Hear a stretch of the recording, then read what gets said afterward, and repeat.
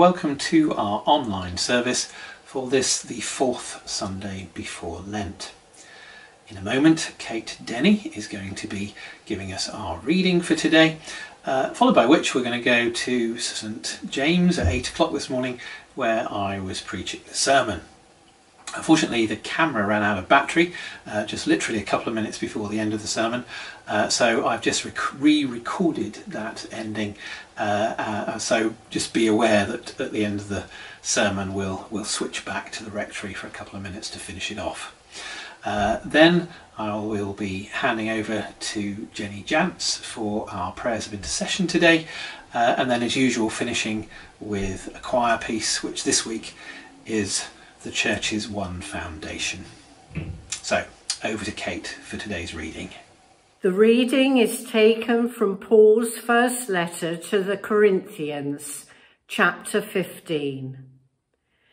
Now I should remind you, brothers and sisters, of the good news that I proclaimed to you, which you in turn received, in which also you stand through which also you are being saved, if you hold firmly to the message that I proclaim to you, unless you have come to believe in vain. For I handed on to you as of first importance what I in turn have received, that Christ died for our sins in accordance with the scriptures, and that he was buried, and that he was raised on the third day in accordance with the scriptures, and that he appeared to Cephas, then to the twelve. Then he appeared to more than 500 brothers and sisters at one time, most of whom are still alive, though some have died. Then he appeared to James, then to all the apostles. Last of all, as to someone untimely born, he appeared also to me. For I am the least of the apostles, unfit to be called an apostle, because I persecuted the church of God. But by the grace of God, I am what I am, and his grace towards me has not been in vain. On the contrary, I worked harder than any of them, though it was not I, but the grace of God that is with me. Whether then it was I or they, so we proclaim, and so you have come to believe. Here ends the reading. When uh, I was in Dubai, um, the Anglican church there uh, did something which most of the other churches there didn't do. We allowed other denominations and congregations to use our building. Only 10 licensed churches in Dubai, uh, still are only 10, uh, and, uh, but there were hundreds, literally hundreds of other um, congregations and denominations uh, throughout Dubai, uh, desperate for places to worship.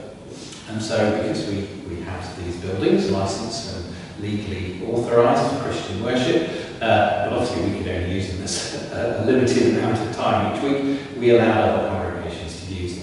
Uh, my first church there, Holy Trinity Dubai, in the old part of Dubai, we had over 100 congregations, other churches from all around the world that would meet in those buildings during the week. Uh, and over the weekend and every evening, every hall, one of the 20 halls there was full. Uh, and then the, the church I moved down to, uh, Christchurch, Ali, slightly smaller church, we had 45, uh, 46, 47 by the time I left, congregations that used to worship there.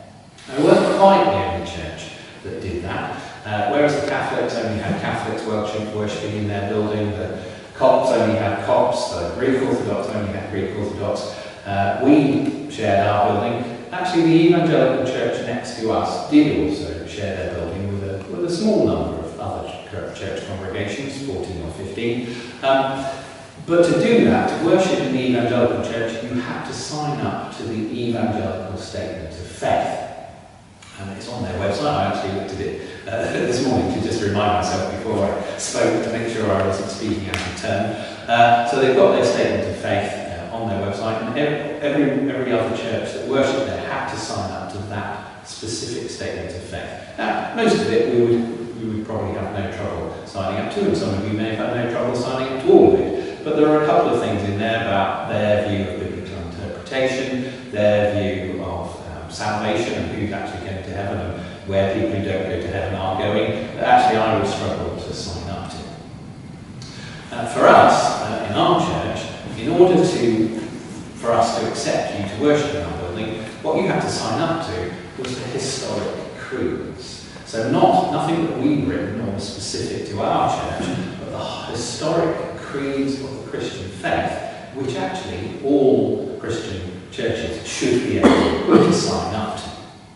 Now those historic creeds. Um, are effectively the Apostles' Creed, the Nicene Creed, those are the big two, those are the ones that you've probably heard of, those are the ones that we use in our worship. We use the Nicene Creed. Uh, every, every communion service, every Eucharistic service has the Nicene Creed in it, uh, and normally in a prayer book service we say it before the sermon, uh, common worship services we say it after the sermon, and today we're going to be saying it after the sermon because my sermon is going to give you a little bit of context about the creed. When we say it, hopefully uh, there'll be a bit more meaning to it today. Um, there are actually two other historic creeds. There's the, the Chalcedon Creed and the Athanasian Creed. Um, the Chalcedon Creed doesn't get used very often. It's very specific about the nature of Christ. Uh, the Athanasian Creed um, actually is in the prayer book, uh, and it said that there are certain specific days of the year when we're supposed to use the Athanasian Creed. Very few churches do, however, because it's, it's actually quite long. It's a lot longer than the Nicene uh, or the, uh, the Apostles' Creed. Uh, and it's, it's also uh, quite detailed and uh, a bit too specific in some places as well. So very rarely is the Athanasian Creed used, but it is, it is authorised. So when in our Dubai we were saying sign up to the historic creeds, we were basically talking about the Apostles' Creed and particularly um, the Nicene Creed, the one that we're going to be saying um, in a little while. The Apostles' Creed is generally thought to be um, the oldest, uh, although actually, whilst the phrases that make up the Apostles' Creed do date right back to the earliest days of Christianity, actually the creed itself isn't found anywhere in its entirety uh, until the 5th or 6th century. So, so actually, in terms of the, the whole creed as it's now said, um, actually, technically the Nicene Creed is older. Nicene Creed uh, dates from the 4th century uh, and was put together by the Council of Nicaea. So bishops and all the important people of the church of that day met in a place called Nicaea and agreed on the words of this creed. Except the creed we use today isn't quite the one agreed there. They met again at Constantinople in the year 380 something, uh, and they revised it and changed it a bit. Uh, and, uh, and that's actually the creed that we use today. So more strictly, it should be called the Nicene Constantinople Creed, but don't worry about that. In fact, point, uh, it was amended slightly uh, hundreds of years later. If you look, if you, if you open your creed there, Nicene Creed, um, if you find a bit about the Holy Ghost, uh, so halfway down page 6, it says, And I believe in the Holy Ghost, the Lord and giver of life, who proceedeth from the Father and the Son. Now the words and the Son were actually added in uh, hundreds of years later, um, and um, was quite controversial. I'm not going to go into the details of why they were added in or why it was controversial. Uh, it's known as the Filioque Clause, uh, and it actually became one of the things that the Eastern and Western Church fell out over. So the Orthodox Church, the Eastern Orthodox Church, and the Western Catholic, what we would now call the Catholic Church, split uh, in the 12th century, and the Filioque Clause was one of the things that split them. There's a sermon uh, for another day there. now, although these, these creeds that have become agreed and which we, which we say during our services uh, have become recognised and authorised over hundreds of years. That's not to say that the earliest Christians didn't have uh, creeds and things that they would formally agree and say together uh, and would see as a, a statement of what it meant to be a Christian. There were things, and some of those things have been adopted later into, into, into later creeds and things. I've referred to the Apostles' Creed and how some of the statements that make that up are, are early statements. There are other statements of faith that early Christians used to use, uh, some of them from the Old Testament. Paul's letter to Timothy uses several uh, Old Testament uh, statements which were clearly used as statements of faith by, by Christians. Um, but the earliest kind of formal, recognised and, and quite creedal statement um, is actually one found in our epistle reading today, in 1 Corinthians 15, verses 3 to 5, which I read earlier. uh, Paul's, so Paul says to the Corinthians, you know, this is the faith which we have received. So this is, this is something that he was given. He said, I, I was given this, I, I received this uh, from, from those who were Christians before me. Now, Paul, remember, became a Christian some three or four years after Christ's crucifixion, the road to Damascus experience, etc. Um, so, uh, historically, we, we think this statement that he then quotes actually comes from those very first few years after Christ's death. So it would have been one of the very first um, creedal statements used. Um, so Paul says, For I handed on to you as of first importance what I in turn had received. That, and here, and here we go with the creed bit. Christ died for our sins in accordance with the Scriptures, and that he was buried, and that he was raised on the third day in accordance with the Scriptures. So that phrase probably sounds, hopefully sounds familiar to you, because actually part of it has been adopted into the Nicene Creed. So bottom of page 5 and top of page 6, he suffered and was buried, and the third day he rose again according to the Scriptures. So that's straight out of uh, that, that creed, which goes right back to the very early days of Christianity. Now, Paul is specifically emphasizing this bit of creed here because he is emphasizing to the Corinthians the importance of resurrection. If you go on to read chapter 15, you will see that most of the chapter is Paul basically telling the Corinthians that some of them have questioned the, the resurrection and whether it really happened. And so in, in chapter 15 of Corinthians, Paul is particularly arguing, look, you can't, this isn't something that's, that's negotiable. The, the resurrection is, is a key fundamental building block in our faith. If you take, if you take that out, actually the structure of our faith comes tumbling down. The resurrection is, is absolutely key. Uh, and so in chapter 15, he's arguing why uh, it's key and also why it's, it's self-evident and why it's believed by Christians. And also, he has the, he has the, the enviable position, which we don't have of saying, because actually, there's loads of people still alive, and he names several of them, who actually saw Jesus after he rose from the dead. So you know, he's, he's, got, he's got quite a good uh, piece of argument there that we don't have anyway today, because clearly all those people have gone. But at the time, he was making it clear to the Corinthians, look, not only is this important to our faith and, and what we believe, not, not only is there lots of evidence, but actually there are people still alive who saw it, hundreds of them. Uh, uh, and he goes on to make this argument throughout. Now, um, so, so Paul, in, in that bit of creed that's been adopted into the Nicene Creed, um, is, is focusing in on a particular element of our faith and emphasising why it's important. And actually, quite, quite a lot of bits of our creeds uh, come from that kind of history. Moments of argument and tension where, where people said, well, hang on, let's actually write this down. Let's all agree together what it is that we believe about this so that we can so, so that we can all say, no, no, no, this, this is what the church believes and understands. Um, to, essentially to create unity, to, to bring the different elements of the church together.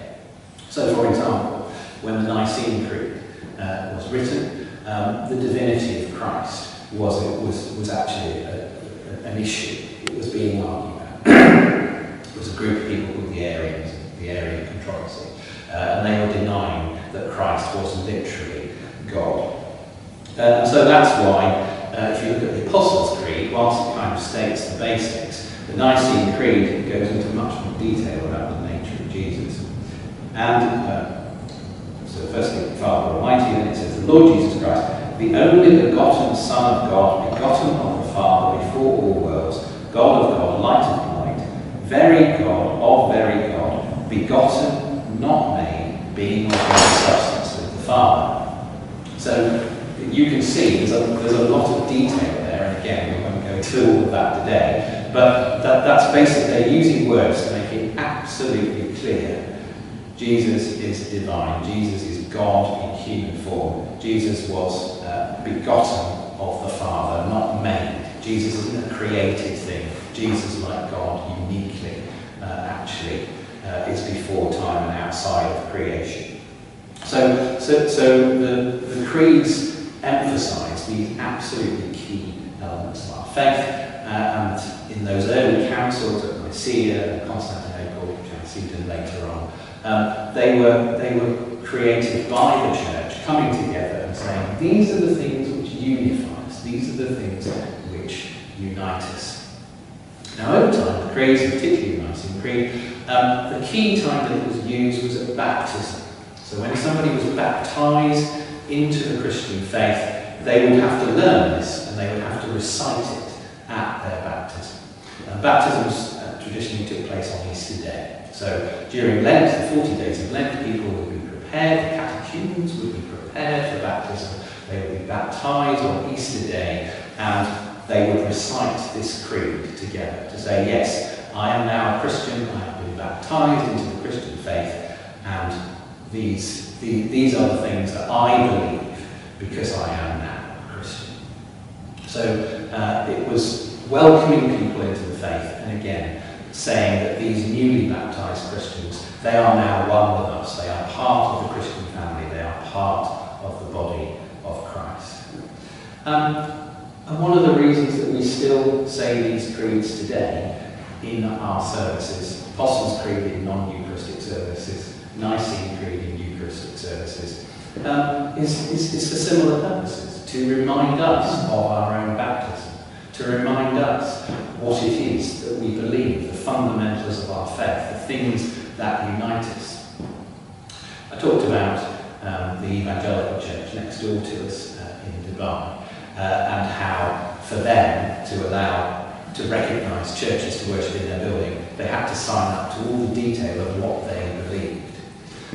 What we felt as Anglicans, though, was that we, we wanted to welcome Christians, other brothers and sisters from the Christian church, the body of Christ throughout the world. We knew that we would disagree with them about some things, their view of biblical interpretation, their view of salvation, their ideas about women, priests, or homosexuality. We knew we'd disagree about those things, but we knew that as long as we agreed on these things, that we were brothers and sisters in Christ, that we were part of the worldwide church and the body of Christ, that we had that unity with them, even though we might disagree about what I would say is some of the detail, although some of that detail is very important.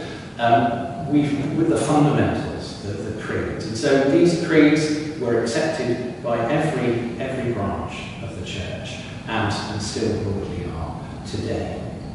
And this very day in Dubai, um, my old churches and the hundreds of congregations that worship in them will be saying these very words together, not necessarily in English, in all kinds of other languages, uh, and, um, and indeed around the world. Millions of Christians today will be saying these words as they break bread um, together. So as we say them in a little while um, after uh, I finish talking, um, it's a sign of unity, not just amongst ourselves. Simply, simply reciting them together uh, is a way of recognising that we are members of this church. But it also should remind us that around the world, Catholics, Protestants, Lutherans, Anglicans are all saying these same words this very day, that we are united with them as brothers and sisters in Christ. Of course, it's not just the act uh, of unity, the words themselves are important. Uh, and um, it's so easy because we say them week in, week out, to just take them for granted and not even think about them. Even as I was preparing this sermon, actually, I, I came across something which I actually never really thought about before. Um, and it's actually from our 1 Corinthians, uh, and it's the bit that comes in there from Paul, um, which is on the third day he rose again, uh, final of the resurrection, um, according to the scriptures. Every time we say it, we say according to the scriptures.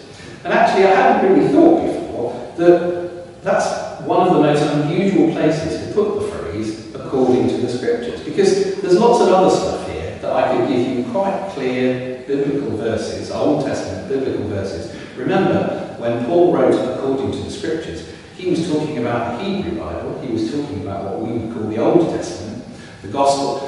Mark's Gospel might have been written. Uh, Paul wrote that letter in about 55 AD. Mark's Gospel might have been written by that time. Uh, we're not entirely sure. It was written around about time. But he certainly, there, was there were no Christian scriptures at that time, really. So he was looking at Old Testament scriptures. Now, I believe in God the Father Almighty, maker of heaven and earth. I would give you loads of, Old Testament scriptures that back that up, etc., um, etc. Et Even the Holy Spirit is referred to in the Old Testament. But Christ's death and resurrection, actually, it's quite hard to find specific biblical verses in the Old Testament that support the death and resurrection of the Messiah. Now, some people say that it's the, it's the on the third day bit that comes from according to the scriptures. There's um, Jonah uh, in the belly of the whale, there's stuff in some of the minor prophets that, that talk about three days and uh, rising and regeneration after three days, etc. Um, so, so some people say it's the three day thing. Actually, it, it's probably a bit broader than that. Um, the key texts, scriptural texts, um, both for Jews but actually particularly for Christians in those early days, was the Psalms. Uh, and the Psalms were really important to early Christians because they saw so much in there which spoke about the coming Messiah, etc., etc. But the Psalms also talk quite a lot uh, about death and resurrection, about Sheol, about God being with me beyond death, etc. So um, it's generally thought that when Paul says according to the scriptures, it's actually the Psalms that he's, he's talking about that. Do you know, I didn't know that before this week. Uh, I only found that out while I was looking at this sermon. So, so you may, if you actually, when you got home, uh, dug out your prayer book or whatever else, or went online and looked at the Nicene Creed, there may be things there that you've, you've been saying week after week, but have never really uh, kind of thought about in the depth that I've just found out about according to the scriptures. There may be other stuff there. So, in terms of uh, your individual faith, it's certainly worth uh, having a look at this creed and thinking about what it means. You said it, you say it most weeks. Um, you, you start by saying, I believe, I believe in, etc., etc., and I believe, and I believe. Well, do you? And what is it that you're actually saying So, um, it, from an individual point of view, I think it's worth looking at, uh, as well as the kind of communal and unifying aspect of the creeds as well. Uh, two final things to finish off. Firstly, simply believing these things doesn't make you a Christian.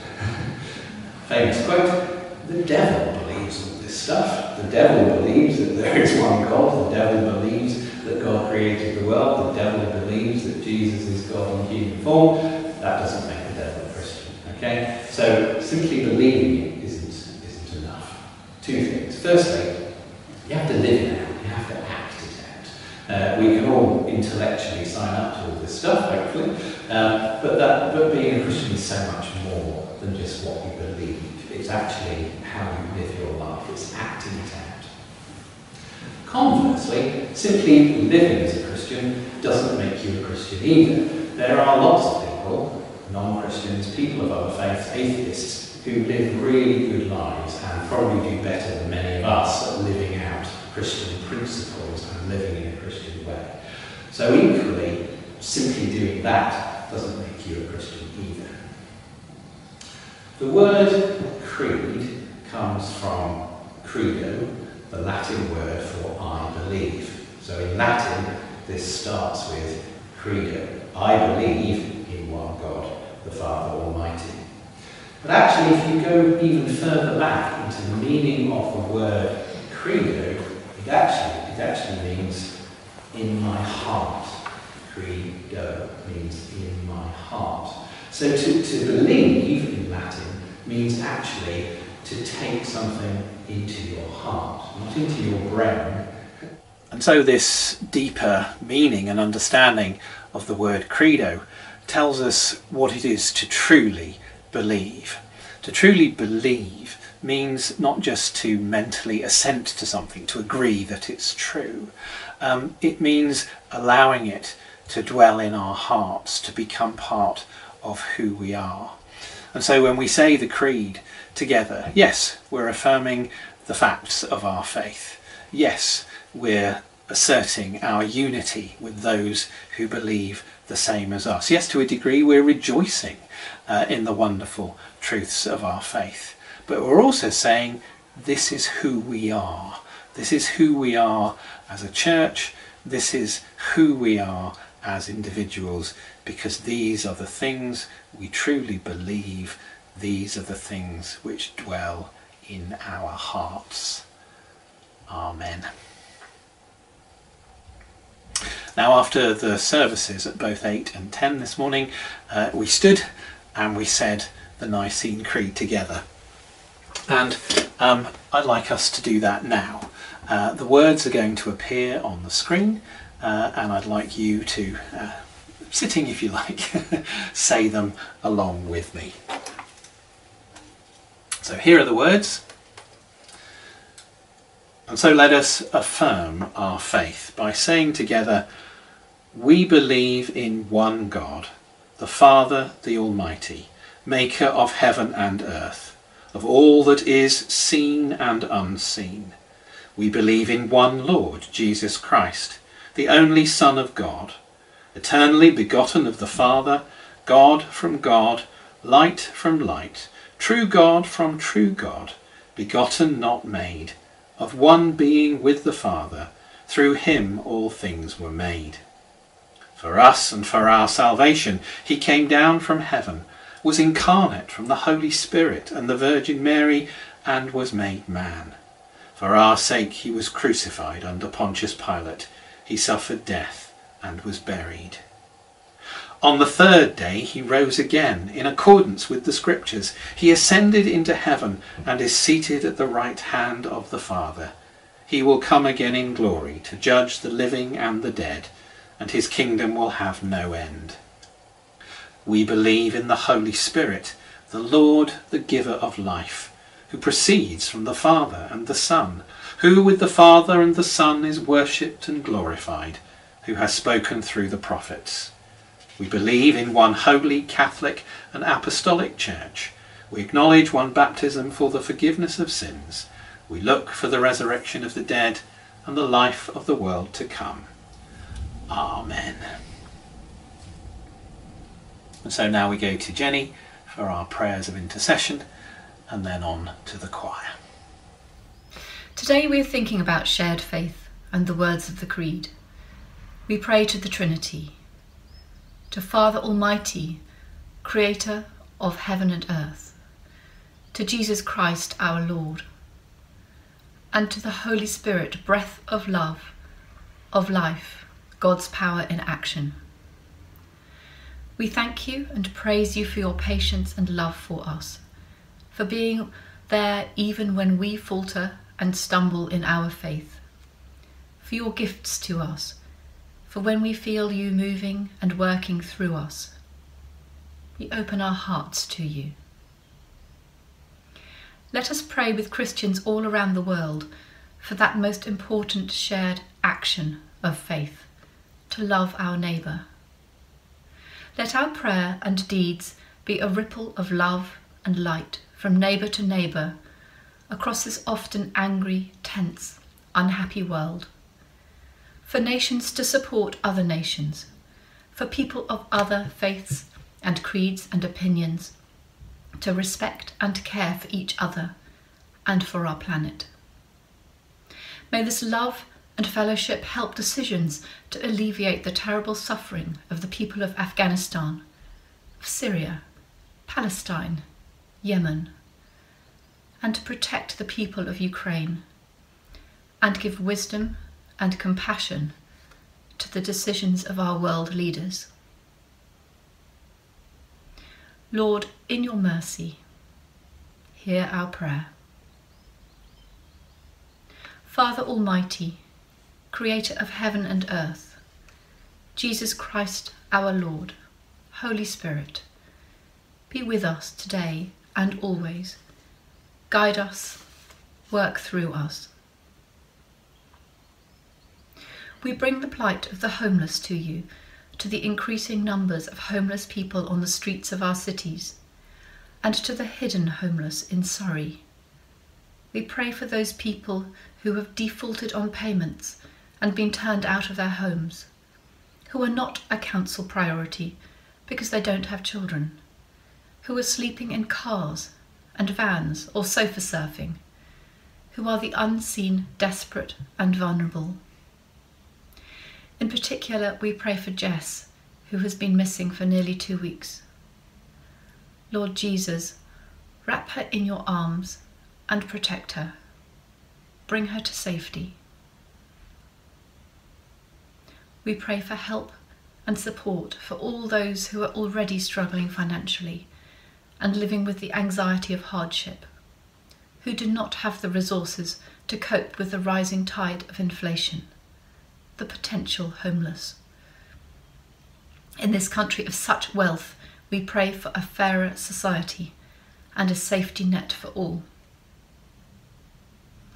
Lord, in your mercy, hear our prayer.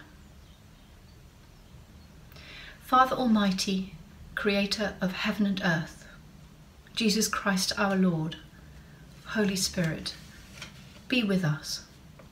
Guide us to hear your voice and to do your works. We pray for the hospital doctors, nurses, and ambulance crews who are overstretched and exhausted because of short staffing levels. For the inexperienced staff who are being given tasks which are too difficult. For the experienced staff who are exhausted through being unable to share their caseload. Father God, Lord Jesus, Holy Spirit, be with all these amazing people who care so much for others. We pray for people who are anxiously struggling to access medical services, who are waiting for appointments and operations. May they have courage and resilience, and may their turn come soon. We bring before you all those people who are sick or struggling we name in our hearts those known to us who need your help.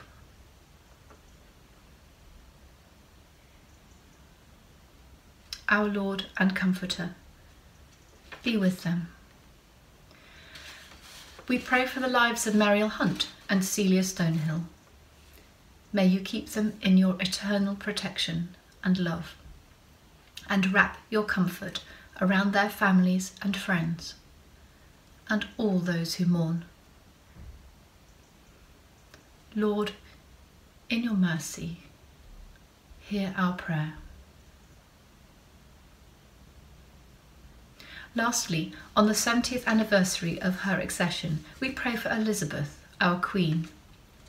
We thank you, Lord, and give praise for her remarkable long reign, for her unswerving deeply interested, caring, and loyal service to the peoples of the United Kingdom and the Commonwealth.